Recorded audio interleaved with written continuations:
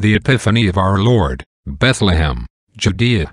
The word Epiphany means manifestation, and it has passed into general acceptance throughout the universal church, from the fact that Jesus Christ manifested to the eyes of men his divine mission on this day first of all, when the miraculous star revealed his birth to the kings of the East, who, in spite of the difficulties and dangers of a long and tedious journey through deserts and mountains almost impassable, hastened at once to Bethlehem to adore him and to offer him mystical presents, as to the King of Kings, O the God of heaven and earth, and to a man withal feeble and mortal.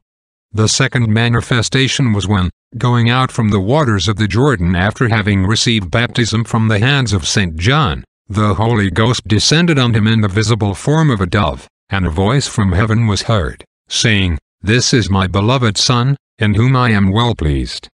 The third manifestation was that of his divine power, when at the marriage feast of Cana he changed the water into wine, at the sight whereof his disciples believed in him. The remembrance of these three great events, concurring to the same end, the Church has wished to celebrate in one and the same festival.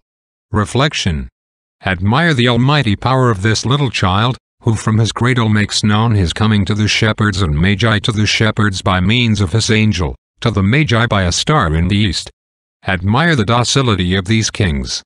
Jesus is born, behold them at his feet. Let us be little, let us hide ourselves, and the divine strength will be granted to us. Let us be docile and quick in following divine inspirations, and we shall then become wise of the wisdom of God, powerful of his almighty power. Amen.